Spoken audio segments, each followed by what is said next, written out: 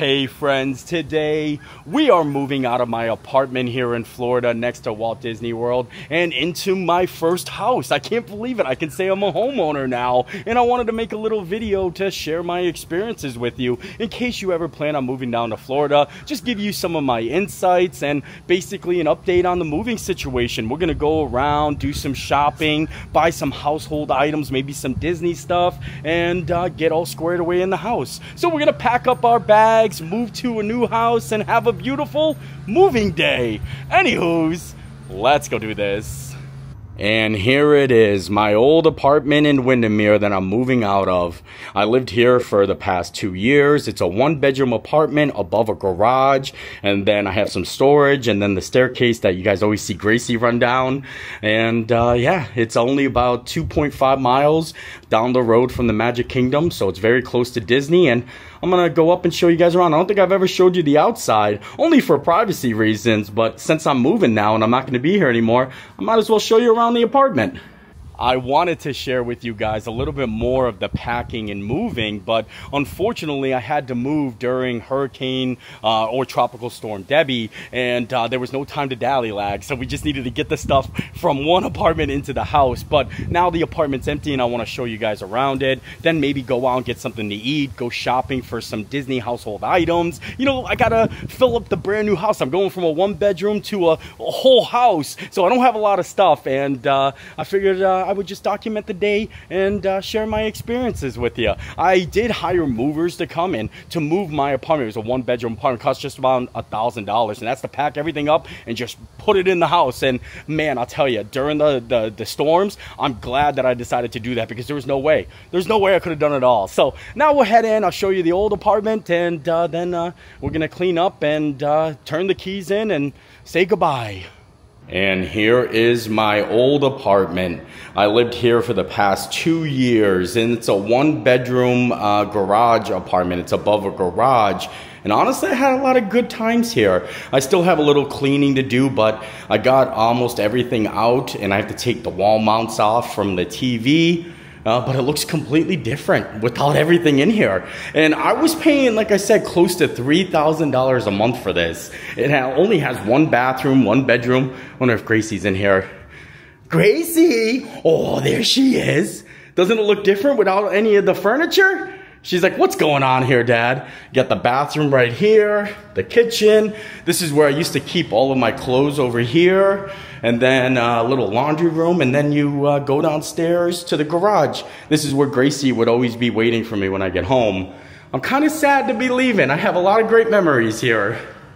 Now, don't get me wrong, I love living in this apartment. I made so many amazing memories the past two years, and the reason it's so expensive is because of the close proximity to Disney World. Like I said, it's about eight minute drive to the Magic Kingdom. I can watch Happily Ever After from my living room. I can see the fireworks in the balcony, and like, that's so cool, but that's why it's so expensive. I checked my last like lease renewal, and it was $2,600, and I gotta pay extra for Gracie, and then I had the garage downstairs. So like I said, you're looking around $3,000 a month. Uh, so if you sign a 10 month lease, that's a $30,000 like commitment. That's a down payment on a house. And honestly, it's not just this, like it's not just this apartment complex. It's literally all in this area. It's become a very desirable living area. Like everybody wants to move here. Every week I run into uh, a new like family or a new couple that just moved down from up north, either from Pennsylvania, New York, uh, Virginia, and they decided to come to Florida, and it just raises uh, the prices because people want to live here.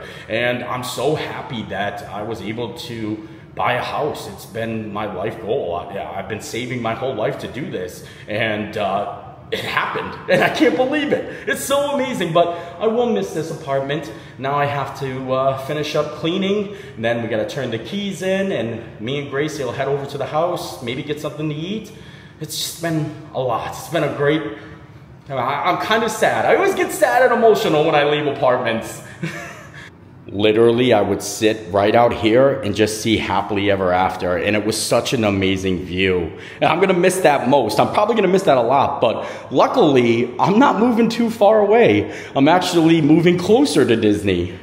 I'm gonna show you guys a little bit of the new house later on in the video, but now it's time to leave. Gotta do Gracie one last time coming down the steps.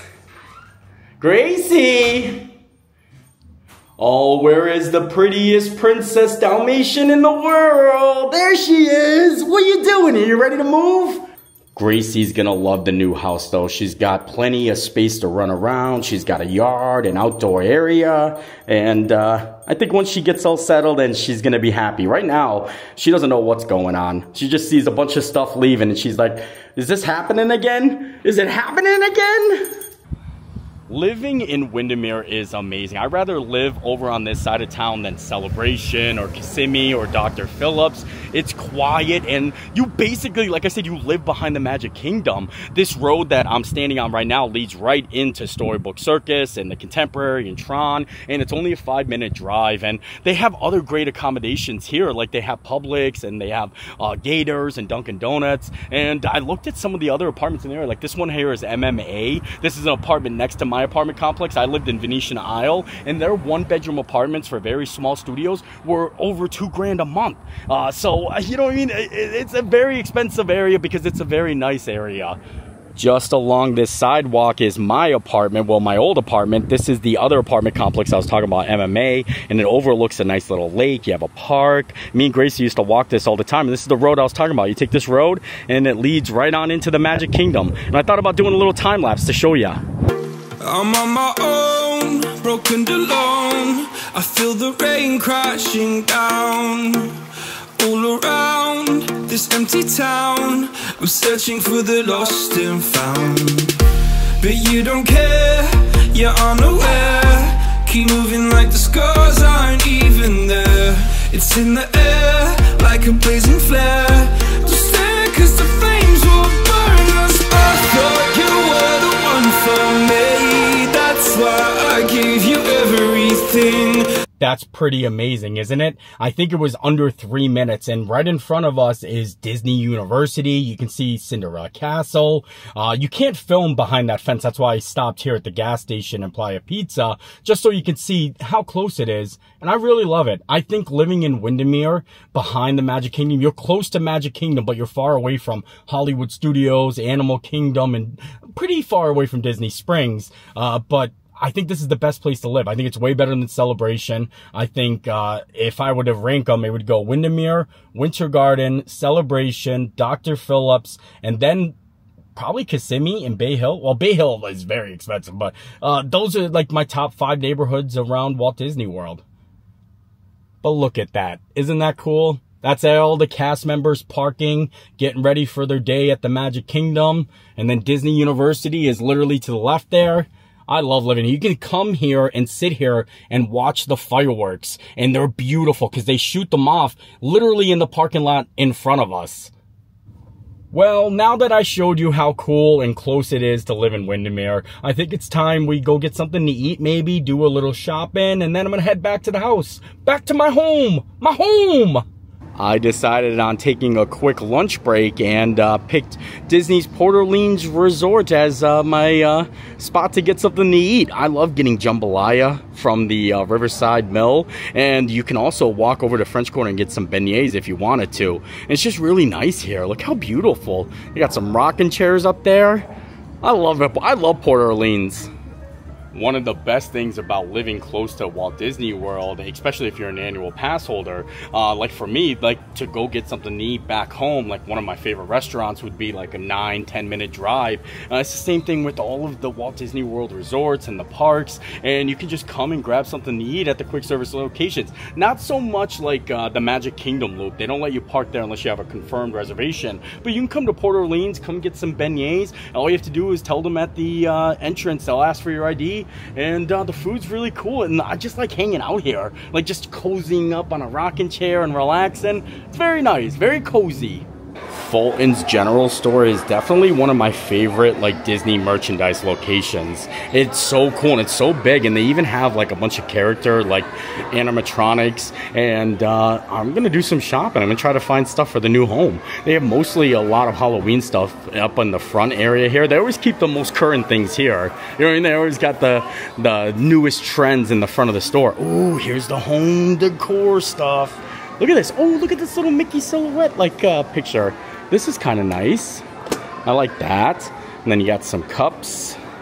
You got some bowls, some wine corks, even little soap dis. Oh, look at that. I can get some fancy Mickey soap dispensers or Mickey cutting board. Oh, and they even started selling Leah Chase and uh, Dooky Chase uh, uh, seasoning here from the restaurant in New Orleans. And uh, she's actually uh, the inspiration for Tiana, Princess Tiana. I don't know what else they got. I mean, a lot of the stuff you can find. Oh, the Mickey pillow. Oh, I gotta get it. I'm happy. Oh, and they have this too? No way. I love these. I was actually eyeing these up. And I didn't want to buy anything until I bought a house, you know what I mean? And now I'm home. Oh, and they got the towels. I don't know why I like these Mickey pillows. They're just plain, but they're actually very comfy. They're very nice and very, I don't know. I can definitely, I want to put a couple on the couch. Actually, I should probably get two. I don't even know how much they are. It's actually a weighted pillow, so that's why it has that feel to it. And, uh, oh, it's $44.99. Maybe I won't get two of them. I might have to ponder about those pillows now. They're $44, but I do get my annual pass discount, and I probably need at least two. Oh, but look at this shirt. Fishing the Day Away, Disney's Port Orleans. Wow, that's a great shirt. Mickey right there fishing.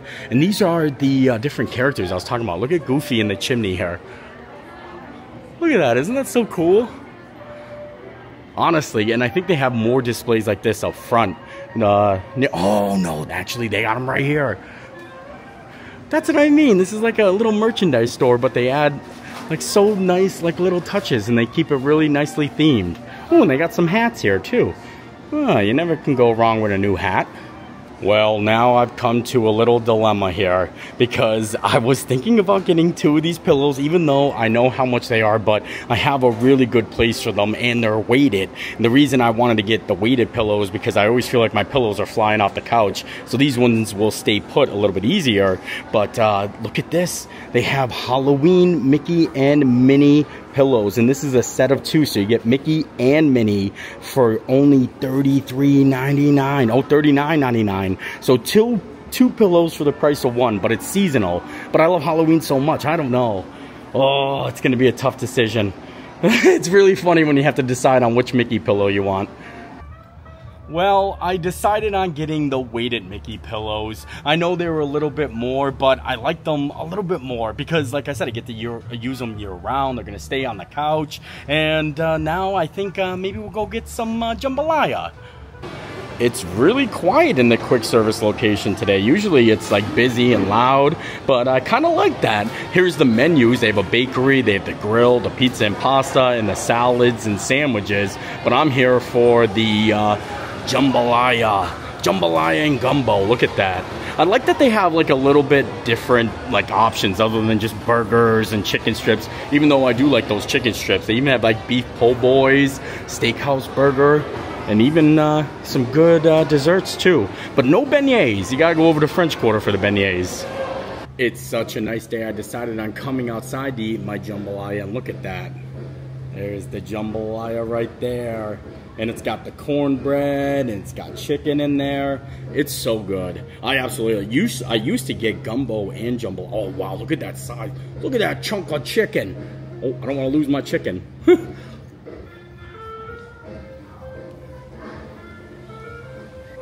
But you really can't beat the view. Just hanging out here, eating jambalaya. I love how they're pumping in the uh, jazz music you know? Oh, and then they got the uh, Medicine Show Arcade.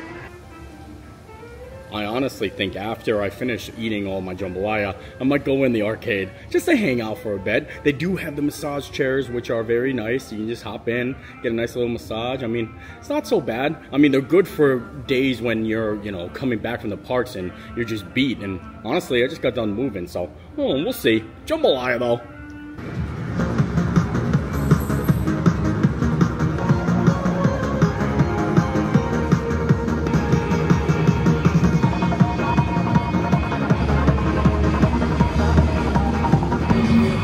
You also get to hear music from Guitar Hero, Space Invaders. Oh look, Disney's Port Orleans Riverside. I love this arcade. And I love these massage chairs. Honestly, it feels so good. $5 for 12 minutes? You can't beat that. as I was leaving to head out. Look at this, you get Donald and Pluto in here. Hey Donald, how are you? Having a good day? Yeah, that's uh, that's a good day to me. I'm having a great day. Oh, can we take a picture real quick? Can I do that? Go right here. Jeez. Thanks, Donald. I came to Port Orleans for some food, and now I've got a belly full of jambalaya and two Mickey pillows. Can't go wrong with that. All right, well, enough of the jambalaya business, but I did enjoy the jambalaya and it was nice to see Donald on the way out. It's time to head to my brand new home, my home forever home, and uh, give you guys a little tour. Now, I'm not going to show you guys everything, only just because of privacy reasons, uh, but uh, I do want to show you a little bit, and I'm in the middle of moving, so nothing is really set up, like nothing like is set up in stone, and I'll probably do a bigger tour once I get back from D23. Oh, Gracie! There she is! I'm home! What do you think so far? Oh, here she comes. There she is! Ooh! Show everyone the new house! This is our living room. Yeah, give them the tour. Oh, up on the couch. Yeah, there you go. She loves it here. This is definitely a big house way bigger enough for me and Gracie, but we love it. She loves it. Look at her. She's just living her best little doggy life in a brand new house with her daddy. Oh, I'm so excited. So I'll show you a little bit more. Like I mentioned, I have the main living room here, and then I head out this way to the kitchen. And it's a very nice kitchen, a very, very uh, open kitchen. And then, oh, I want to show you guys what I end up doing with those Mickey pillows. Look at this. Ah, isn't that perfect? I ended up getting these little blue swivelly chairs at uh, Home Goods. That's a great store. And this is like a little lounge area. I'm to put a TV there. And it's just really nice. It's cozy. It's everything I've ever dreamed of. And I can't believe that I could say that I live here, that this is my home. Honestly, I've been emotional the past couple of days. And I wasn't sure if I was to make this video because it's really it's it's it's hard for me to process that I've actually accomplished something like this in my life. Like honestly, I've been in survival mode my whole entire life. I've never been able to like even think about buying a home. Uh, ever since I was a little kid, even with my mom, we grew up in the housing authority. We grew up in the projects. My dad left my mom at a young age and we grew up, like I said, off the system. And when I was 16 years old, I left my mom's house and decided to just start working you know, full time. And uh, ever since then, I've just been living paycheck to paycheck and just trying to survive. So like thinking about saving up and buying a house was like just not in the cards for me. Like it was never, it was never even a possibility. And in when I started making these YouTube videos, I thought, wow, I mean, you can make some money from, you know, YouTube. I mean, it's entertainment, people watch and then they add, you know, ads in it, kind of like commercial breaks. So like when I was growing up, I was watching TV shows, and uh, then you know commercials would come on, and that's how the TV shows made money, and that's kind of how YouTube makes money, and it sparked this creative like brain. Like I, I, I didn't know that I had the skills and I've never challenged myself to ever do or become anything and I just want to say thank you guys so much because every single person that's ever watched my videos has contributed to the fact that I've been able to uh, accomplish my dream. And uh, it's, it's like unbelievable, absolutely unbelievable. This is something that, you know, it, it's really hard for me to like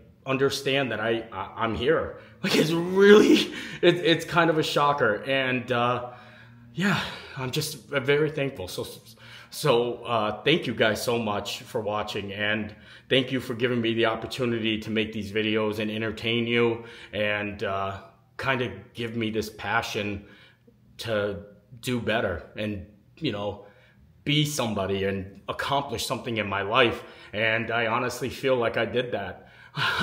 like I really did. I did it. One of my favorite things about this house though, it's gotta be the closet. Look at this. I finally have enough closet space that I can hang up most of my RSVLTS shirts. I still have a lot of them that I've never even opened. And look at this. I mean, I don't have any more room to hang any more RSVLTS. I got this little gap over here, but I've got a lot of bins full still. So we're gonna have to be a little creative, but this is such a huge closet. Look at, I have a little hat shelf too. Put all my hats, look at the fedoras over the years. I like to hang on to this. this is the bowler hat. Like, isn't this cool? I've hanged on to almost every single hat that I've wore before in the past just because I'm just, I, I love everything that I do.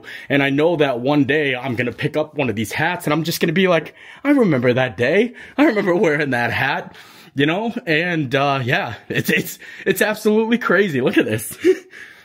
Like I mentioned, I'll give you guys a little bit more of an in-depth tour of the house in future videos. Uh, I have to get everything set up. I have so many cool Disney props and movie props and memorabilia that I want to display in my house. Uh, I'm just excited for something like this to be happening. Now I have to get ready to leave because I just moved in. Uh, I got my, everything kind of unpacked like the big furniture, but I still need to like put away everything. Uh, and uh, I have to catch a flight to California to go to D23 this weekend, which I am so excited for. I'm excited to go to D23. I'll be there and I'll be at the RSVLTS booth on Saturday. I think we're going to do the meet and greet from 4 p.m. to 6 p.m. because I need to leave because we're going to the Honda Center at 7 o'clock. Uh, so if anyone's at D23 uh, this upcoming weekend, come by the RSVLTS booth. I'll be there Saturday from 4 p.m to 6, and uh, uh, we'll be able to hang out and chit chat. And uh, I'm excited. I'm excited for the future of the videos.